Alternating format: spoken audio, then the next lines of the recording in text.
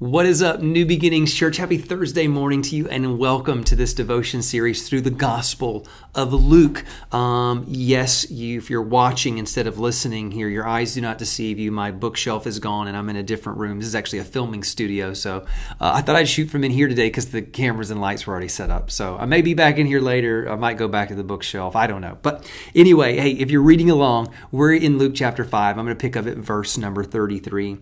They said to him, Jesus. John's disciples, well, we notice they fast and pray often, and so do the disciples of the Pharisees, but your disciples, they go on eating and drinking. And Jesus answered, Can you make the friends of the groom fast while they're with them? But the time will come when the groom will be taken from them, and in those days they will fast. Uh, I'll just pause right there. You know, if you've been around New Beginnings for any length of time, you know we believe in fasting. We believe that that's actually the best way to start your year. I mean, think about it. God is first and highest of all. There's the principle of first that's woven all throughout the scripture. So we believe, hey, let's give God the first part of our morning in devotion to Him. Let's give God the first portion of our week by being at church on Sunday. And then we believe, hey, let's give God the first portion of our whole year by doing 21 days of prayer and fasting. But here's the deal we should be fasting routinely regularly. Um, every once in a while, God will put it on my heart if we're praying for something. If the church has, you know, maybe got something intense going on that week, I'll just say, hey, guys, we're, we're fasting, we're praying. I know we did that during uh, the purchase of our building. There were times things were intense and negotiations, and we just felt like we wanted people praying and fasting because what you see is, is that wherever people are praying and fasting, you see breakthrough. And all throughout the scriptures, you see this. And fasting was not something that was considered something that you maybe did. Uh, it wasn't something that you just considered to the spiritually elite. No, everybody fasted. That's why in the Sermon on the Mount, when Jesus addresses fasting, he doesn't say if you fast, he says when you fast. Meaning to Jesus, fasting would have been a normal part of your rhythm and routine to life. And I think that's such a huge idea. What if you built fasting in to your rhythm? For some of you, that might be once a week. For maybe others, every other week, at least maybe once a month or every other month. I mean, something like that, some type of regular ongoing fasting. And here's why. The first thing is that fasting has incredible health benefits. Um, there's all the latest in biohacking your body to get your body to perform better.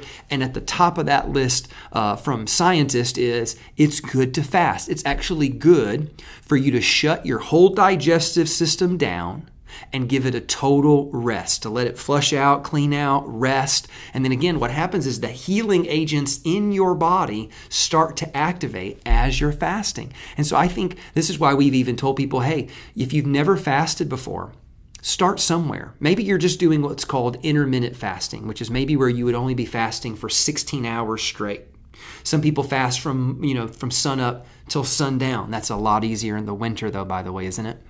Um, some people can, can go a full 24 hours with water only, and good for them. And of course, I know people in our church that have really um, developed the practice of fasting, and they've gone two, three, four, five days even. And so I want you to know not only is it possible, it's good for you. And so when you start getting into the rhythm of fasting, it becomes natural, it gets a little bit easier, and then you actually realize the benefits of it because not only are there unbelievable health benefits, but we know that there's benefits to our mind and our emotions. And so some of you are struggling with your mental health right now, whether it's depression or anxiety or something like that. You're dealing with these emotions of maybe anger or bitterness. And I'm telling you this Take that stuff to fasting. Make it rhythmic, part of your life, built into your schedule. But if you've got something pressing in your life, you say, no, no, I'm going to attack this thing with fasting. And so during that fast, I'm going to pray. I'm going to really meditate on the scriptures and seek God to help me with that thing. And again, the, what you have to remember is, is that spirit, soul, and body are all very intertwined. So as the you get the health benefits from fasting, and then as you get the soul benefits of fasting, now we get to that third level is you get spiritual benefits of fasting, which is now you really get to if you get it because I know some people they'll go like, "Well, I fasted, Todd, but I was angry." Or I fasted and I was just hungry all day. That's because it's so new to you.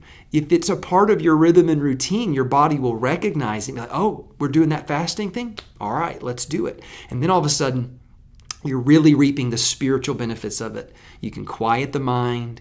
You can you can quiet the emotions. The body's not going to yell at you anymore. And now you can truly, I think, tune out the noise and hear the voice of God.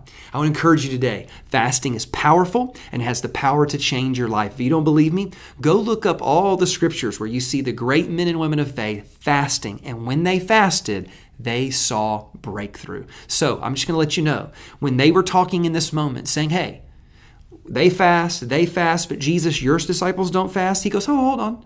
I'm here right now. But once I'm gone, oh, they will fast.